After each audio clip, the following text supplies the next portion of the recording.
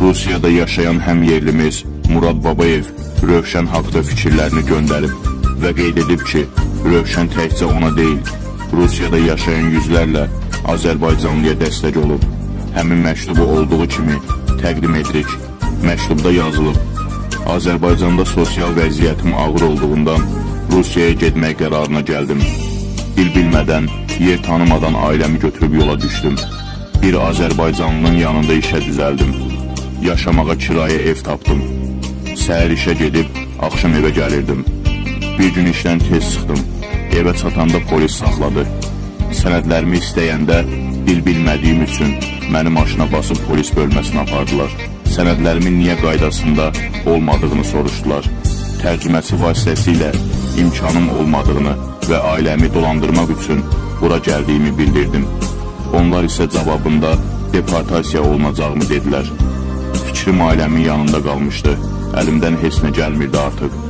Birdən tam təsadüfən Rövşən Lənkəranskinin qohumuyam dedim. Onun haqqında Rusiyada çox eşitmişdim. Bütün həm yerlilərimiz ondan danışırdı. Mən də bu sözləri deyəndə sonra polis bölməsində sakitçilik oldu.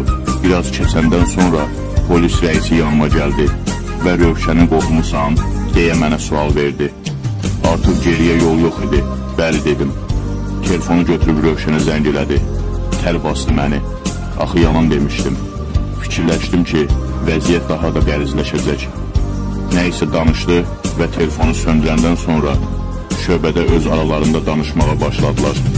Şokda idim. Danışıb bitdikdən sonra rəis cibmə 5000 rus rublu qoyub məni yola saldı və tərcüməsi vasitəsilə mənə bildirdi ki, nə zaman köməyə ehtiyacım olarsa ona deyim. Tərcüməçidən onun Rövşənlə nə danışdığını soruşdum.